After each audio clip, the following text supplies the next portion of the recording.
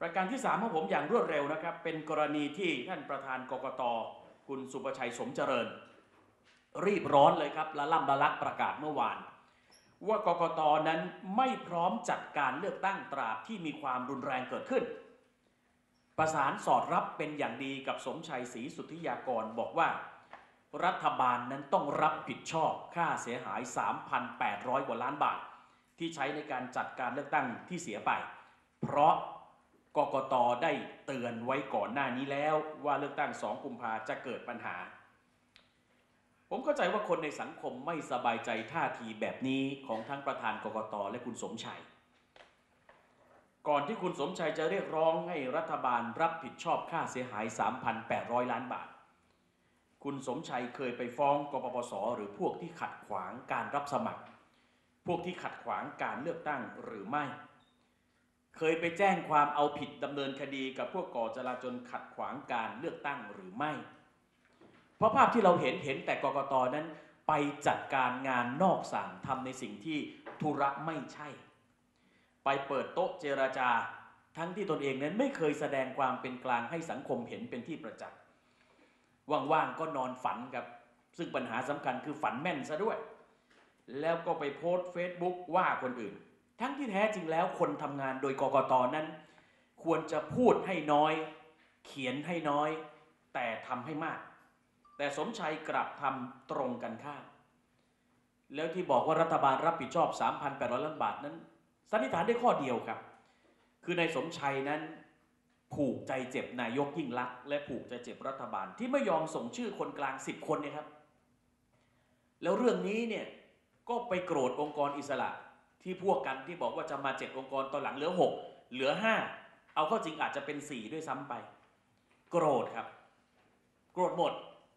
ไม่โกรธคนเดียวครับ ไม่โกรธกปปสที่สุเทพนั้นโขกสับเรื่องนี้ วันนี้เนี่ยผมเข้าใจว่าประชาชนจับตามองดูกกตอยู่นะครับ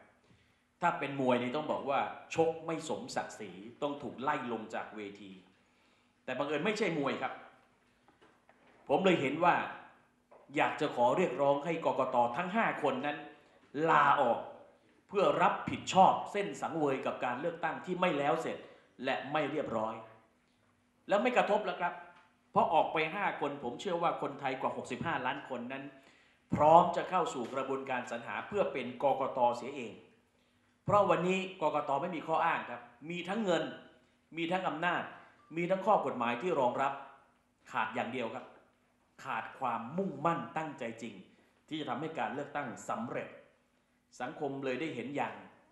ที่ไม่ควรจะเห็นครับ คือเห็นความย่อหย่อน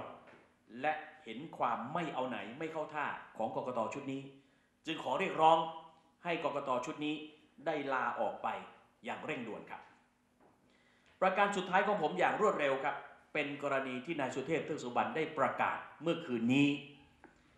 บอกว่าเป็นชัยชนะของมวลมหาประชาชน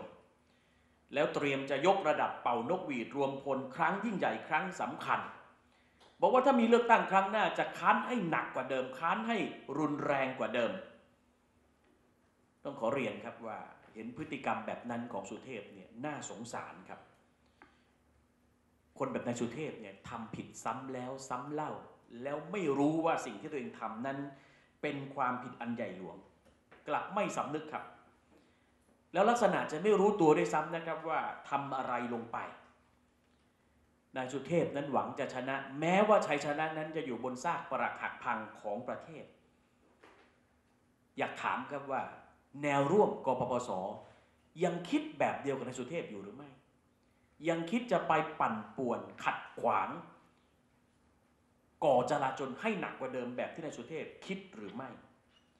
อยากถามไปถึงพรรคการเมืองที่สนับสนุนหนุนหลังนายสุเทพว่ายังเห็นเหมือนนายสุเทพหรือไม่ ที่จะป่วนให้หนัก ก่อจลาจลให้รุนแรง สังคมไม่สบายใจแล้วครับ กับพวกที่สู้แล้วรวย รวยแล้วไม่เลิก รวยแล้วไม่กลับ เราได้เห็นหลายพฤติกรรมครับของพวกนักสู้ที่สู้แล้วรวย รวยแล้วไม่กลับแบบในสุเทพแล้วมีตัวอย่างให้เห็นลามมาถึงพุทธอิสระครับ ที่นำมวลชนนั้นไปเทข้าวที่สำนักงานสลากกินแบ่งรัฐบาล จะเรียกว่าตบทรัพย์ จะเรียกว่าข่มขู่กันโชคทรัพย์ได้เท่านั้นแหละครับ ไปเรียกรับเงินเขามา 1.3 ล้านบาท แต่ผมอยากเรียกว่าพฤติกรรมของพุทธอิสระนั้น เป็นโจรในคราบผ้าเหลืองครับ พวกนี้นั้นหนักกว่าฆาตกรต่อเนื่อง คือทำผิดแล้วไม่รู้สึกรู้สา ทำผิดแล้วยังเดินหน้าทำต่อซ้ำซาก